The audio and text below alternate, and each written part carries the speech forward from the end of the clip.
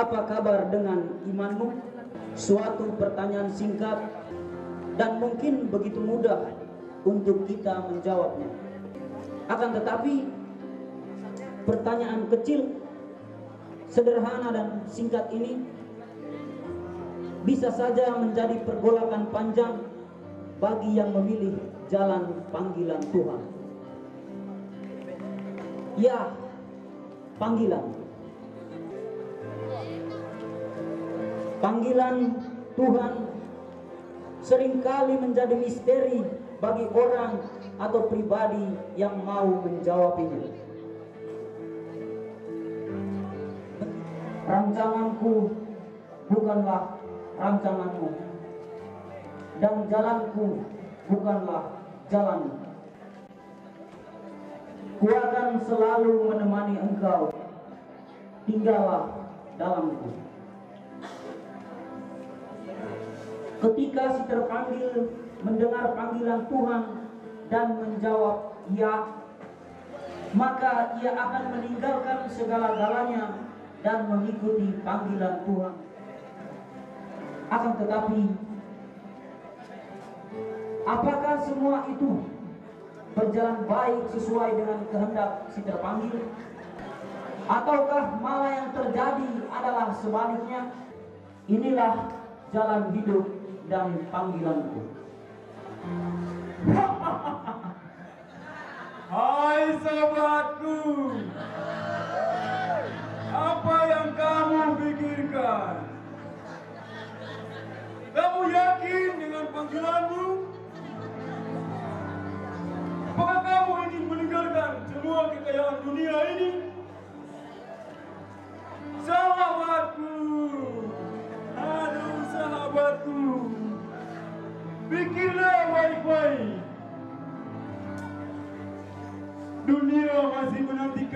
Sahabatku.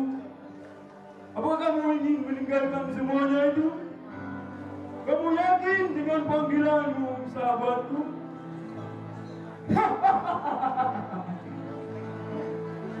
Aduh, sahabatku. Apakah kamu lupa dengan sahabat-sahabatmu?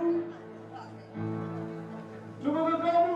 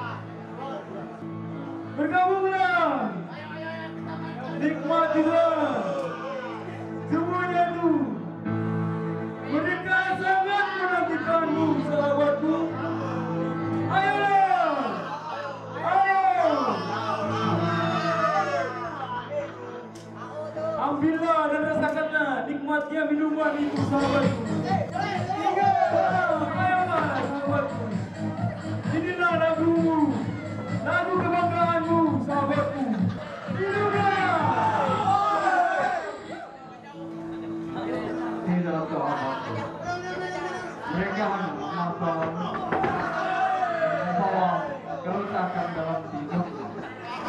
Ingatkan masa depanmu, sahabatku. Ingat bahwa panggilanmu adalah jalan yang terbaik untuk dunia. Dan ingat akan kedua orang tua yang telah melahirkanmu. Banggakanlah mereka. Jangan dengarkan dia sahabatku. Jangan dengarkan malaikat botak itu sahabatku. Jangan dengarkan dia. Mari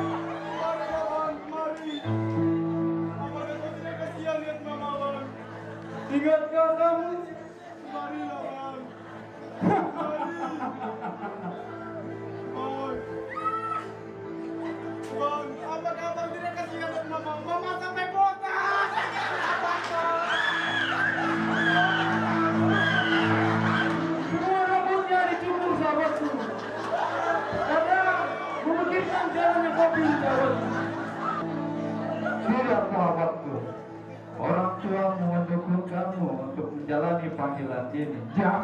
Jangan dengarkan dia sahabat Saudaraku Jalani saja panggilan yang engkau pilih Jangan dengarkan dia Jangan dengarkan kosong orang yang ingin menghambat panggilanmu. Jangan, sahabatku.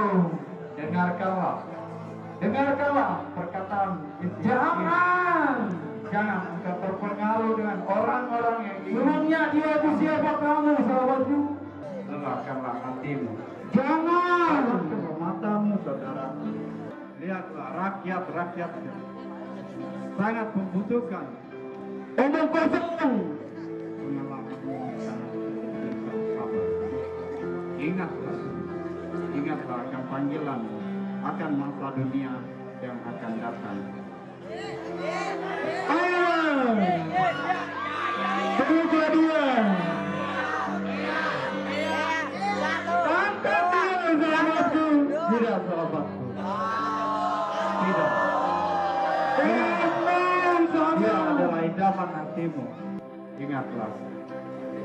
Jangan dengarkan dia. Di dunia ini masih banyak keindahan sahabatku. Masih banyak kenikmatan di dunia ini. Semuanya menantikanmu sahabat. Tidak, tidak, tidak, tidak, tidak. Itu semua hanyalah masa lalu yang pernah kualami. Ini sudah menjadi jalan pilihanku, jalan panggilanku. Oleh sebab itu, aku harus melupakan dan meninggalkan hal-hal yang pernah terjadi pada diriku. Karena ini adalah jalan panggilanku. Dan tidak ada yang bisa menghalangi apa yang sudah menjadi pilihanku. Baiklah, jika kamu lebih memilih mengangkat batak ini daripada saya,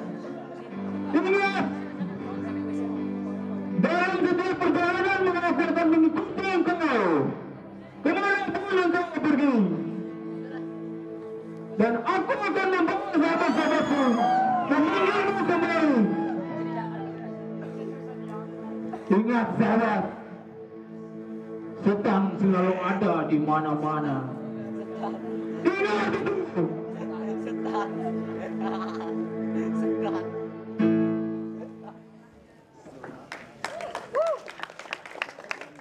Aku telah memilih, maka aku akan setia menjalaninya.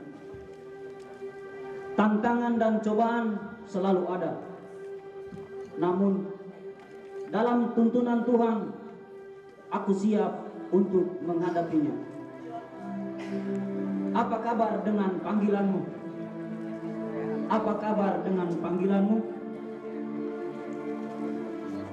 Pertanyaan ini bisa saja menjadi tamu yang muncul dari dalam diri kita semua yang disebut sebagai yang terpanggil.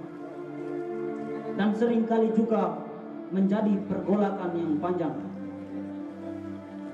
Panggilan itu akan kuat dalam diri kita, maka semestinya kita menghidupinya dengan perjalanan hidup kita.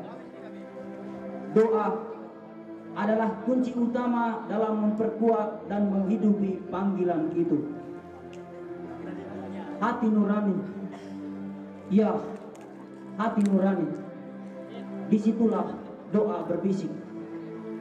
Dengarkanlah dia, jagalah dia, sehingga suatu saat nanti badai cobaan datang menerjang, engkau akan berdiri tegak dan mantap berkata, inilah jalan hidup dan panggilanku.